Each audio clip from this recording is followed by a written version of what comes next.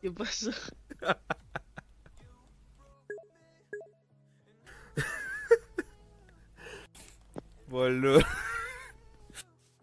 Pobre, pobre caballo.